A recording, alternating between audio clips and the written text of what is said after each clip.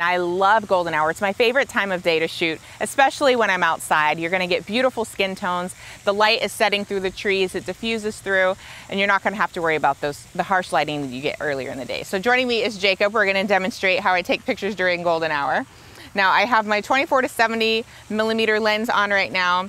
Um, my ISO, since we're outside and there's still a, quite a bit of light, is probably, I'm gonna set it to about 200. And then um, my f-stop I have to four because I like to shoot wide open and get the nice blur in the background of the picture. So let's come over this way and take some pictures. I'm trying to keep my back to the available light so that the light is hitting his face in these pictures. Oh, that's great. Oh, that's great too. All right, try some with your sticks above and below your chin, like above your head. Yeah, like that.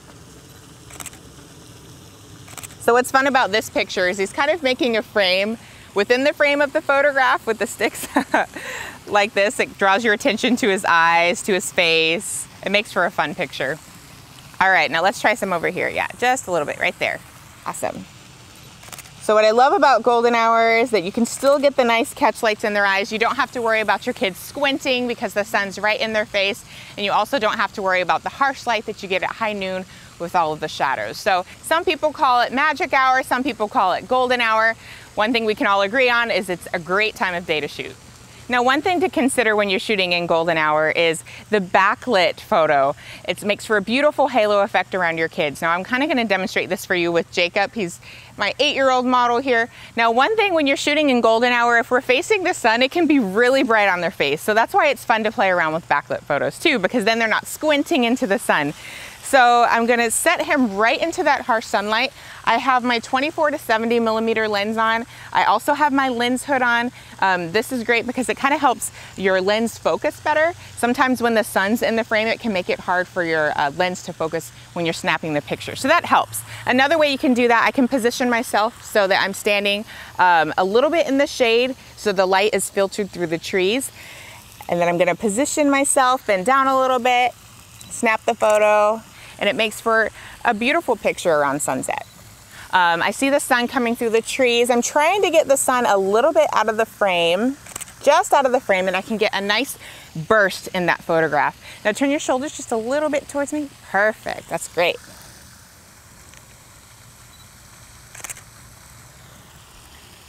Beautiful photograph. Awesome, you look great. And then you can take some vertical as well. Yeah, cross your arms. I like that. You're cute. Although golden hour is a great time to take pictures, one of my favorite times to shoot, sometimes you just can't afford the midday harsh sun that's coming in your face. So some ways you can combat that is to try to find some shade. So right now we have Jamari out in the sun. It's bright over his face. It can cause your kids to kind of squint. If I were to take a picture now, you're gonna get some shadows in the way, some harsh shadows. It's not as beautiful as the light that you get during the golden hour. So some ways to combat this is to find your own shade. Like if Jamari were to go over in the trees, we're gonna take some pictures of you in the trees. So find some shade, there you go, nice. So once he stands in the shade, just back up just a little bit more, perfect. And then if I were to take pictures of him right here, the sun is diffused through the trees. You're not getting as much of that harsh light on his face, and it makes for a much prettier photograph. Now, if there are no trees around where you're taking your pictures, you can also make your own shade with something like a hat or an umbrella, and you can make some, take some cute pictures that way as well. So taking pictures, if you're out in the sun, the hat in the way would make it so that his eyes are shaded. You don't have to worry about squinting and the shadows that you would get in the face otherwise would be taken care of. So there are some different things to consider. Another thing you can do is just wait for clouds. If it's a partly cloudy day and it's really sunny at the moment, just wait for a cloud to come by and to create some nice diffused light that way. Now that we've talked about how to handle natural lighting situations outside, let's head indoors and talk about how to deal with it there. Using natural sunlight indoors is much less about the time of day and more about the position and way that you position yourself and your subject and the light when you're taking the pictures. So you can really get a variety of looks in your photographs depending on how you play with the light in your house. So joining me is eight-year-old Jacob and we're gonna demonstrate this for you. So first, let's have, uh, let's get a front light photo. So we're gonna have you stand right here in front of the door. So this is all the light is coming towards his face. I can focus on his face I'm putting my back to the light and the picture I'm getting is nice, a bright lit photo. You can see the beautiful catch lights in his eyes. If you needed more light in the house, you could do this, you know, by a window. But if, the, um, if you're by a door, uh, and it doesn't have this beautiful glass, you can simply open the door. That's another great way to get full light um, on the front of the face, Some, a nice, beautiful front lit photo. Another way uh, that you can get a creative, beautiful lit photo is by playing with side light. I like to do this sometimes. So Jacob, I'm gonna have you face this way, yep.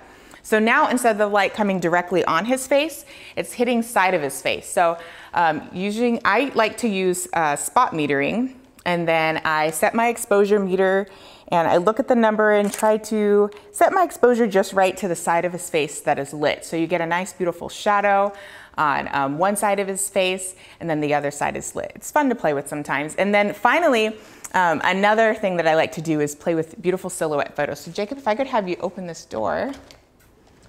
Great, yeah, just look at the door. So here, instead of focusing uh, the spot metering on his face, I'm gonna spot meter to outside. And then I'm going to look at the exposure meter that's inside of the camera and then take the picture of him. So that creates a nice fun silhouette look, which is another fun way to play with photos. Thank you, Jacob. So depending on how you're standing, whether your subject is standing with the light to their front, their side, or if it's a nice silhouette, it's a fun way to just play around with the light in different photos. So far in this lesson, we've talked a lot about natural lighting situations and how to handle the light when you're outdoors and indoors using window light and things like that. But sometimes, you know, it's dark and you've lost all available light from the sun. And sometimes you're just stuck with the tungsten light that you have all around of your house. And that's okay. So sometimes maybe you're taking pictures like I like to do some in the bathroom of my kids splashing in the tubs and things like that. So I'm gonna show you how to handle that so you don't get that yellowy tinge in your photos. So I'm gonna give you an example shooting in live mode so you can see the difference in changing this. Hey Sadie, Sadie's gonna help me model this. Thank you. Give me some Play-Doh. So while she's playing with this Play-Doh, I'm gonna demonstrate in live mode how you can see the difference so if I was shooting outdoors and had my white balance set to daylight, you can tell when you come inside that your picture is really yellow. That's not how I'm seeing it with my naked eye. So if you want to change that, you can switch your white balance over to tungsten light and you can see how it changes the image that you're seeing through your camera. It looks a lot more like how I'm seeing here right now. Do you want to squish this one? Look at that. Poke it. Poke it.